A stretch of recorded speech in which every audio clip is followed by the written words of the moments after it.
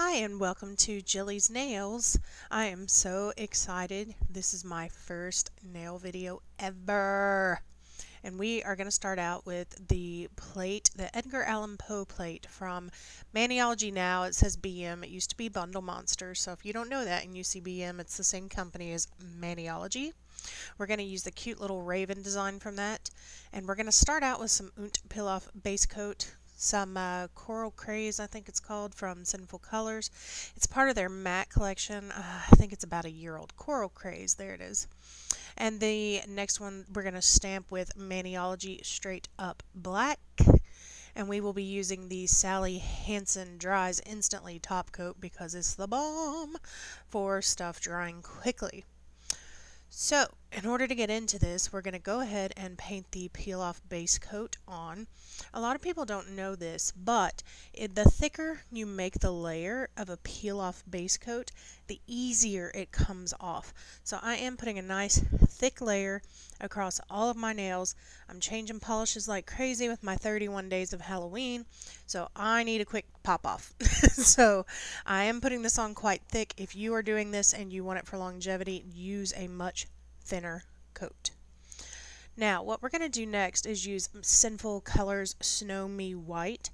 What that will do, if you have a very pale color, something that's transparent, or a neon, if you put white on the bottom, it will make the color on top of it pop. So even though, yes, that is a pretty bright orange, it pops so much better if you put that white underneath it. So we're going to put that on first. I'm just checking here to make sure everything is dry. We're going to go ahead, put a layer on the Sinful Color Snow Me White. Oh, wait, that's a stamper. okay, I forgot to tell you, I'm going to use the Maniology Ice Cube stamper. I'm just rubbing it on a uh, lint roller right now so that I can make sure it's clean before I get started with any of that. I'm assuming that I'm doing this because my nails were still wet. So, um, that ice cube stamper, a lot of people are not in love with it. I like it. I like it a lot. Um, some very, very intricate designs can cause issues with it. It may have a little cracking or not pick up perfectly, but on the whole, I like that one. I'm also using a credit card scraper. They're the ones that are kind of a little more sturdy. And then again, I'm using this Edgar Allan Poe plate. Now, Maniology has redone this one and made that design on that plate half of a plate. So there's now a plate out that has that and another half on it together is all part of the Edgar Allan Poe plate. So I'll link that one below because I know you can still get that one. And it's pretty cool. It's got a lot more designs on it. I'm a little mad that I didn't get that one. So, as you can see here, I have, uh, I got some big old nail beds. They're big. so it takes quite a bit of polish. When you are doing your nails, it may not take that much polish. So don't look at it and assume that you have to use that much. You'll have to figure it out and kind of test it on your own. Um, the Snow Me White polish from Sinful Colors also not the most opaque polish on the first go round. If you put a second coat on though, that sucker's opaque. So if it's a little bit streaky when you're using it underneath another color, don't worry about it so much. It's not such a big deal. Um, it's You're not going to see if it's not a perfect application. And because I don't know what is wrong with me, I could not paint straight to save my life. This Mani, I am jokingly calling the Jinxed Mani. I had to film this video three freaking times. the first time my camera kept cutting off. Um, the second time it was all blurry. It was a nightmare. And the third time I got nail polish in my armpit.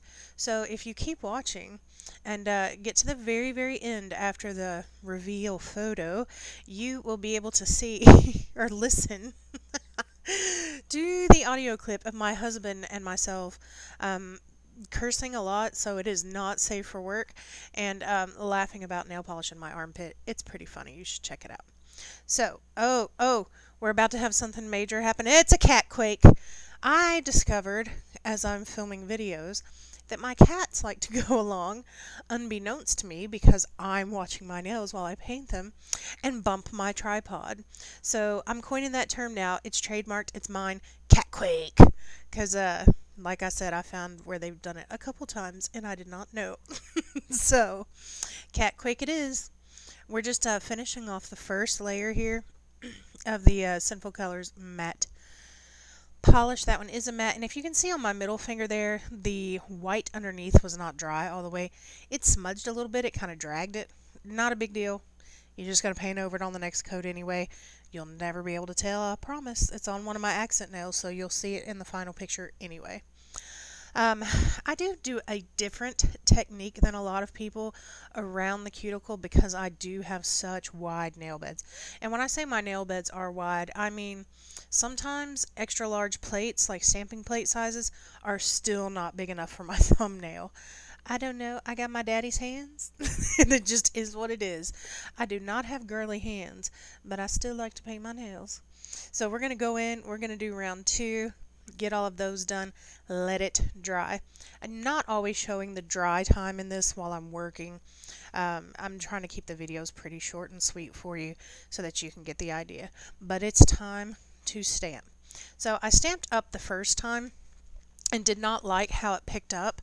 A lot of times, um, images that are on the corner can be kind of tricky about which way you need to stamp and which way you need to scrape. So uh, that one I didn't like it at first, so I scraped it again. I tried to do it in one scrape, and as you can see, the stamper picked up some other image than the Raven. So what I'm doing is just barely pressing that onto a lint roller. You can kind of see the pressure right there. Um, I'm just barely tapping it on to make sure that the design that I do not want is not on my stamper before I press it onto the nail. So I'm going to go in now, just going to stamp it down, hold it for a few seconds, come straight back up. I'm not rocking the stamper, I'm just pressing down and letting it curve around my natural nail curve. Now you do have to be kind of careful if you press too hard you can pop the stamper out the other side, which is um, not cute, and it leaves your nails not cute. So you kind of have to press firmly but gently at the same time. It's definitely something you can practice before you actually have polish on your nails so you can see how hard you can press down. Um, but generally, it shouldn't be too difficult. And if you look now, you'll see all of my accent nails are done. And what I'm going to do is go ahead and put a quick dry top coat on top. It is shiny. I know that uh, the Coral Craze is a matte polish, but I'm going to go back in and use a matte top coat on it. If you like it shiny, you'll be done. Go ahead and wait for the birds to dry, do your shiny top coat, and you're out. It's all good. but I thought this design would look really cute matte, so I wanted to finish it off that way. So we're just going through finishing everything off. Oh, that is something that I did not list at the very beginning. I decided to try this out again.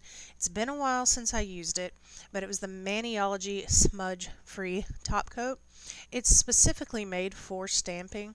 It is a water-based top coat, and what it does is just help seal in the stamping without it smearing easily. Now, you'll also see as I'm stamping over this, that, not stamping, painting over it. As I'm painting over it, I am keeping a bead of polish on the bottom of my brush. So I'm trying to put enough on there not to flood the cuticle and not to run everywhere, but just enough so that the bristles of the brush don't actually touch the stamp. So what you can even do is kind of dot it around the image and then use a bigger glob to go back over it and kind of smooth it out or you can just very gently do it. You do not want the brush to press into your stamping, to press, to press into your stamping. If you let the brush drag through your stamping, like what I'm doing now is more of a drag than a float. If you let it drag through, it can ruin the entire image. It'll smear it, and it doesn't matter if it says it's a no smear top coat or not. So now what I'm doing to go ahead and finish it off is the matte top coat on the other three nails that are not accent nails and going back in with that Sally Hansen quick dry top coat again. The great thing about a quick dry top coat is it will make all the polishes underneath dry faster. And that Sally Hansen one, I'm telling you, one of my favorites by far. It covers great. It goes right on it rarely smears. Sometimes you have to be careful, but it rarely smears, so it's a good one. And I've even used it without that Maniology smudge-free top coat. You just have to float it. If you don't float it, you will smear it. So once you get the other two top coats on, you can just kind of go back in a regular way with Sinful Colors matte top coat. Um, that top coat, by the way, love it. I was shocked at how good it is. It's not showing up on film right now that well because it's still drying in these images, but I love it. I also wanted to talk to you about this plate again. We just used ravens on this because I wanted to do some simple stamping. But there were some great creepy trees on there, other birds that are flying off. It has Edgar Allan Poe quotes on it. It's really a nice plate if you want to do something kind of creepy. So I hope you like this design. If you did, I would love it if you will subscribe, like my channel, leave me a comment and let me know what you want to see. And get ready because those not safe for work bloopers starts now. Rob! I need you.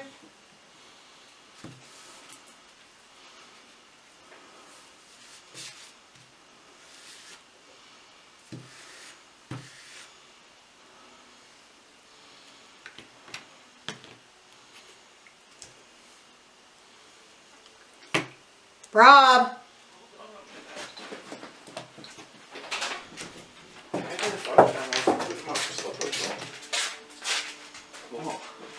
I have nail polish in my armpit. I need you to come help me.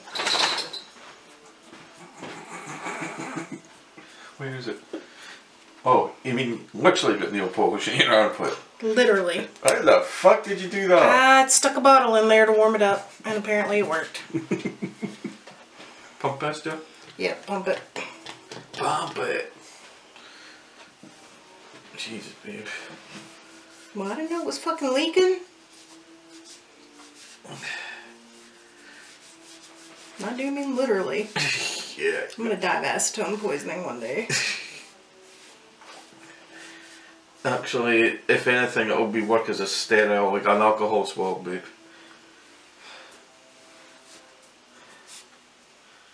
I mean, I don't really care if the shirts are under. Uh, I know, but I was just trying to make sure that it doesn't go back on your skin. that, there. Thanks. Okay. Trash box. Missed. What? I need another one of those out because I got out exactly how many I needed. Do you need a single one?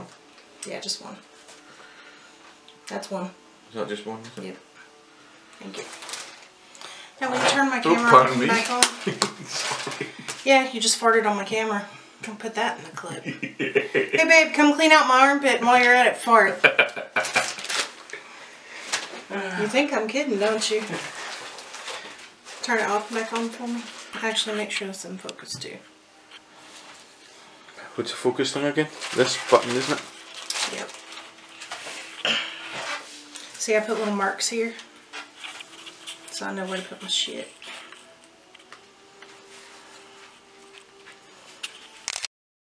We don't need pictures. You ready?